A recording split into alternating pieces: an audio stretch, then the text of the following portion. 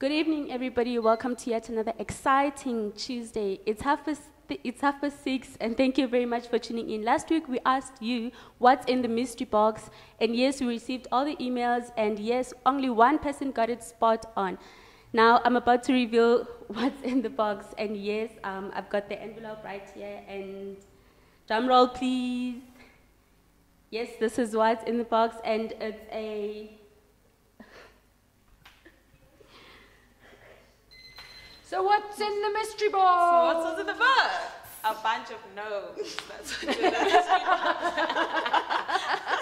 Three big no's. There we go. What number is 68. 68. So the mystery box was nose. The mystery box was three I saw that mystery box before she came out and spoke about it. So I took a little sneaky peeky in. And Aish. It was Aish. It was ice. And then it was a okay.